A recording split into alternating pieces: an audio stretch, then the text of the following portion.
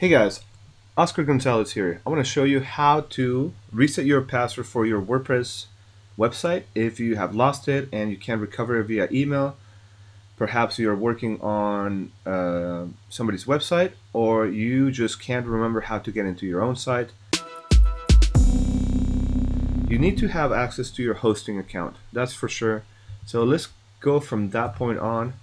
And this is one that I'm working on right now and this is the cPanel website, the cPanel management for that account. Your website may look different, your account may look different, or you may not even have a cPanel, but you somewhere in your hosting services, you should have access to your MySQL database management tools. In this case, we have four tools right here, phpMyAdmin and a few other ones. We want to work with phpMyAdmin. Again, this is in cPanel. If your host provides you with a different type of um, panel like usermin or WHM, then you need to find in that system how you can go into your database and make some changes. We're going to click on that and open up the database. This is usually what it looks like. You will have two, at least two different listings over here on the left hand side. One of them will be for your website, one of them is for the database itself. You don't want to touch the one that says information schema, leave that alone, but expand the other one by clicking on the plus icon. Then you're going to scroll towards the bottom and your, your tables may look different depending on the number of plugins you have and other things that you've customized on your WordPress website. But what you're looking for is this table right here that shows WP users. Expand that.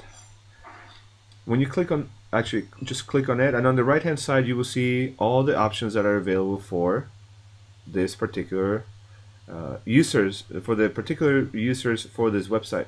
And what we want to re reset right now is the admin password. So you can see right here, user login, user pass, and user nice name. User nice name is like your friendly name that you put into your dashboard when you are using WordPress. What you really care about is the admin or the user login username here and the password. Notice there's a password, there's a there's a set of characters right here that look like a password, but it's not actually a password, so you won't be able to just copy and paste that. That's what's called a hash. It's, it's a secret key to unlock the password. So what we're going to do is we're going to edit and we're going to change the password to whatever we want. We can change the password right here where it says user pass. Just go to the right and it's just like a box where you would type in anything else.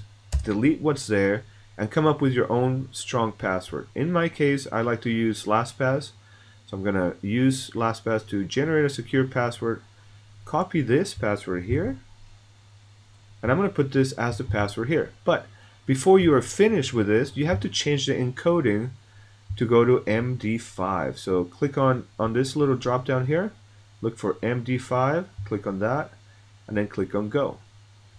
What that's going to do is going to convert the password that we put in, which is this one, into an MD5 hash. And notice that is now different than it was before. This is not the password again. The password is what we put up here. So now if we go to the site and we type in admin, oops, admin, and the password that we created, when we log in, we'll be able to log in because the password was changed. So that is the easiest way to get into your website if you are logged out, if you don't know what your password is and your email reset functions don't work.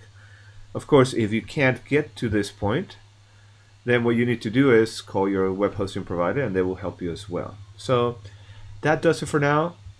If you have any other questions, let me know. If you have any problems with your website, please let me know down in the comments or get in touch with me and I can either teach you how to use your website or help you fix it if you have any problems. Thanks for watching. I'll talk to you later. Have a wonderful day. Bye.